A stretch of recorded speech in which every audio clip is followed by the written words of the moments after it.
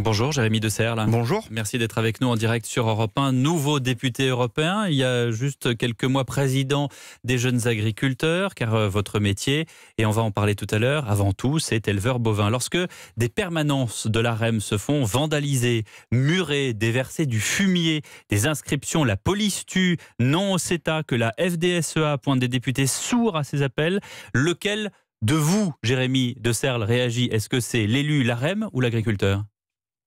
Je pense qu'il faut que ce soit les deux déjà. Donc à la fois l'élu euh, de la REM, mais encore pas, euh, euh, enfin je veux dire politiquement intégré et avec encore un, j'allais dire au fond de moi-même et qui restera euh, ma part d'agriculteur, mais aussi de syndicaliste. Il n'y a pas encore si longtemps que ça, euh, voilà, j'étais aussi euh, à la manœuvre pour, bah, du coup, discuter, négocier avec les politiques. Et donc là, si vous voulez, moi j'ai plutôt envie de, de, de faire en sorte que ce climat s'apaise le plus rapidement possible et qu'on puisse assez vite rediscuter entre la profession agricole et puis les élus, notamment de la République en marche, euh, pour faire en sorte que le CETA, qui est forcément le sujet d'actualité, euh, puisse avoir l'impact le moins négatif possible sur l'agriculture. Mais donc vous ne condamnez pas ces actes? Je pense déjà qu'il faut faire une différence. Vous avez parlé de vandalisme tout à l'heure, entre le vandalisme et puis quelques tonnes de fumier euh, et puis des parpaings qui sont juste empilés devant une permanence. C'est-à-dire qu'on a muré, on a muré la permanence. Oui, on a hein. muré la permanence, mais les parpaings, ils s'enlèvent vite. Le ciment, il prend pas aussi vite qu'on peut le bah, penser. Attendez, euh, Jérémy de Serre, ah on a, muré avec des parpaings et du ciment une, une permanence LAREM. Oui, c'est grave. Je, ben, je dis pas le contraire, mais c'est quand même moins grave que d'aller casser euh, quasiment incendier des permanences comme à Perpignan et, dans, et dans l'Ariège ou même les tags qui ont été faits sur la permanence Donc vous de condamnez, vous condamnez. je condamne ce qui dégrade, ce qui casse. Et vous condamnez pas ni le fumier, ni, euh, ni les parfums. Ce que j'explique, c'est qu'il y a une grosse différence et qu'on ne peut pas considérer de la même manière ce qui est du vandalisme et ce qui est fait du coup par des activistes qui sont non identifiés et les actions menées et revendiquées par la FDSEA, les jeunes agriculteurs. Donc je soutiens aussi euh, quand même les agriculteurs qui ont besoin de réponses et d'attention. Alors euh, je dis pas qu'il faut continuer, j'explique que... Vous appelez au calme? J'appelle au calme, j'appelle euh, à un peu plus de sérénité. Les agriculteurs se sont manifestés, c'est normal. c'est normal qu'on appuie quand même et qu'on demande en tout cas un certain nombre de réponses en bon père de famille, euh, je pense que à la fois la FNSEA, les jeunes agriculteurs et la République en marche doivent se remettre autour de la table pour travailler sereinement. Lorsque Christophe Castaner, le ministre de l'Intérieur, sur l'un de ces événements parle d'attentat, qu'est-ce que vous dites, vous? Il parle d'attentat sur l'événement de Perpignan, qu'on soit bien d'accord, où là, la permanence a été cassée, les vitres ont été cassées, il y a eu la volonté aussi d'incendier cette permanence. C'est juste comme terme? Bah écoutez, euh, moi j'aurais peut-être euh, été un peu plus euh, méfiant sur le terme à utiliser. Et ma foi, après, c'est vrai que quand euh, on en est à ce niveau-là de violence, euh, il y a, de quoi aussi agacer. Alors bon, on va pas jouer sur les mots. Je pense qu'il faut sans doute un peu mesurer les propos. voilà. Hmm. Sur le CETA, puisqu'on en parlait et que vous disiez à juste titre que c'est la principale raison de contestation, en tout cas de ces agriculteurs qui se sont manifestés de la manière dont, dont on l'a dit, vous dites que vous êtes un, un aigri et qui a besoin d'être rassuré. C'est pas un peu schizophrène comme raisonnement? L'agriculture, euh, toute production confondue, traverse, traverse une crise sans précédent. Les agriculteurs n'ont plus de repères, ne savent plus ce qu'on attend d'eux.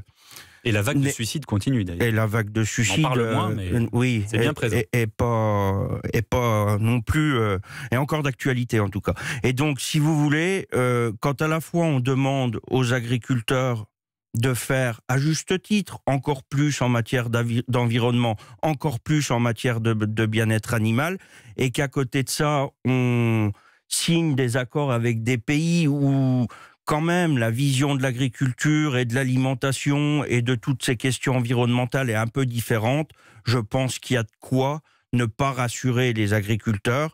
Et donc c'est pour ça aussi que euh, je pense que nous devons mettre tout en œuvre, et c'est ce que je ferai en ma qualité de mhm. député européen, mais aussi en ma qualité de responsable euh, politique national, nous devons tout mettre en œuvre pour euh, minimiser cet impact et répondre aux attentes des consommateurs et bien sûr aussi à celles des agriculteurs.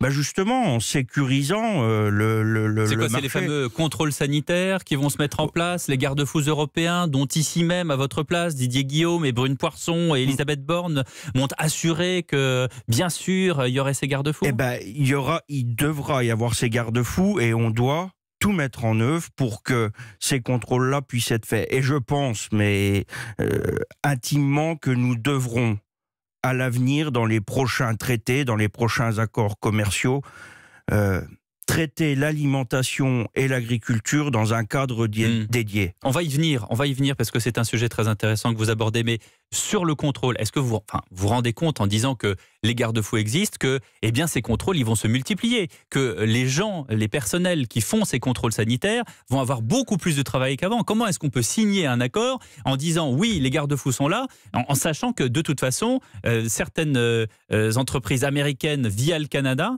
vont arriver en disant bah, nous, on a ces produits-là, euh, contrôlez-les si vous voulez. ça, ça va être une usine à gaz. Mais sauf que c'est ce qu'on doit à la France et c'est ce qu'on doit aux agriculteurs et pourquoi les agriculteurs sont aussi un peu en colère et attendent quelques réponses? Parce que là, on n'a encore pas toutes les réponses et il faut qu'on les amène. Finalement, euh, pour ce CETA, euh, vous auriez été en, vous, vous, étiez pour ou vous étiez contre? Mais j'ai, Lequel Jérémy de Serle parle? je peux, dire que j'ai eu la chance de ne pas être dans l'hémicycle français au moment de voter le CETA, parce que je pense que j'aurais voté contre. Voilà, je le dis. Là, c'est Ponce Pilate, hein, vous vous lavez les mains, là. Hein. Je me lave les mains, pourquoi? Bah, Parce que vous n'avez pas, vous n'avez pas eu à le voter. Si vous aviez eu à le voter, eh qu'est-ce que ben, vous auriez fait? Je pense que dans l'état actuel des choses, avec les éléments que j'ai, je vous dis que j'aurais voté contre. Néanmoins, les députés euh, aujourd'hui qui ont voté pour le CETA ont aussi tout un tas d'éléments d'information que moi je n'ai sans doute pas, qui leur ont permis de dire qu'il fallait y aller. Vous leur faites confiance Mais je leur fais confiance, bien entendu. Vous voulez mettre en parallèle l'agriculture et l'alimentation. Euh, j'allais dire, quand la politique agricole commune a, fait son entrée à la, suite de la, Deuxième Guerre mondiale, ben, c'était justement ça, c'était nourrir l'Europe mhm. à travers une politique agricole. Qu'est-ce que vous voulez changer exactement? Je ne comprends pas. Moi, ce que je souhaiterais, c'est que la politique agricole commune, justement, retrouve euh, ses lettres de noblesse et qu'on puisse, euh, par cette politique, bah, sécuriser notre alimentation, sécuriser notre agriculture. Aujourd'hui, il y a des attentes sociétales fortes, des exigences qui sont fortes de la part de la société en matière d'alimentation, en matière d'agriculture, en matière d'environnement. Et je pense que cette politique agricole commune, dans sa prochaine réforme, doit redonner du sens à l'agriculture et doit redonner finalement une stratégie à son agriculture. Bah, déjà en accompagnant un peu mieux euh, ces agriculteurs face aux différents aléas, qu'ils soient climatiques, qu'ils soient économiques, euh, les aléas de marché aussi. tous les agriculteurs, pas non plus privilégier toujours les plus gros pas privilégier les plus gros, mais avant de parler des plus gros agriculteurs, il y a déjà un paquet de personnes qui ne sont pas agriculteurs et qui touchent des aides de la politique agricole commune. Je pense par exemple au prince de Monaco, à la reine d'Angleterre, qui eux bénéficient d'aides publiques de la politique agricole commune et à mon avis pourrait s'en passer. Donc voilà, on doit aussi euh, rediscuter de l'actif agricole. Ça fait partie des choses sur la politique agricole commune où on devra aussi euh, redéfinir ce qu'est un agriculteur professionnel. Et redéfinir aussi de nouveaux éléments, notamment la politique des sols, le fait de faire entrer l'agroécologie, euh, le carbone. Exactement. Sur tous ces sujets environnementaux, il faudra aussi qu'on ait une vision un peu plus pragmatique. Il ne faudra pas mettre des mesures ou des réglementations en place qui n'apportent pas de résultats. Et c'est un peu le cas aujourd'hui. Il faudra qu'il y ait une écologie, encore une fois, pragmatique. Il y a eu une, une polémique récente vous concernant, euh, Jérémy de Serle, soulevée par Yannick Jadot, qui disait que vous étiez un soutien du glyphosate et de Monsanto. Oui. Qu'est-ce que vous lui répondez Je réponds comme je lui avais répondu à l'époque que se servir d'un fichier illégal, c'est eux qui le disent qu'il est illégal et c'est vrai qu'il l'est, euh, se servir d'un fichier pour euh, euh, dénoncer le fait que, j'appartienne au soutien de Monsanto, je trouve ça un peu petit comme politique, mais j'ai l'impression qu'il ne se sert plus de, de, de, ce sujet-là. Il, me dit, il disait aussi que j'étais un chasseur invétéré. Il se trouve que j'ai jamais tenu un fusil de ma vie en main, donc euh, ma foi, bon, euh, ces informations étaient mauvaises. Merci beaucoup Jérémy de Serle d'avoir été avec nous en direct sur Merci Europe 1. à vous.